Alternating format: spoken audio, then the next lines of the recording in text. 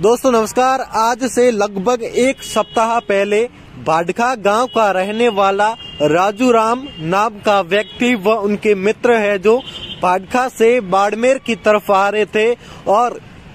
पीछे एक कैन वेदांता की गाड़ी ने उनको टक्कर मार दी, जिससे राजू राम बुरी तरह से घायल हो गए। उसके दौरान बाड़मेर राजकीय अस्पताल लाया गया राजू राम को और वहाँ से जोधपुर रेफर कर दिया गया राजू राम को और कुछ दिन बाद है जो राजू राम की मृत्यु हो गई। आज से एक दो दिन पहले राजू राम की मृत्यु हो गई और परिवार वालों ने है जो मुकदमा दर्ज करवा दिया और इंजाम लगा दिया राजू राम का कि केन वेदांता ने है, गाड़ी की, से जो टक्कर मार दी, जिससे राजू राम की मौत हो गई, उसको लेकर है जो बड़ा हंगामा हो गया, और आज सुबह से है जो राजू राम के घर वाले और जो गाँव वाले हैं, वो लगातार कैन वेदांता के गेट नंबर छह के आगे धरना लगाकर सबको लेकर वहाँ बैठ गए कि जब तक है जो मुआवजा है, जो उनकी शर्तें हैं, वह पूरी नहीं की जाएगी जब तक है जो राजू राम के शव को यहाँ से उठाया नहीं जाएगा।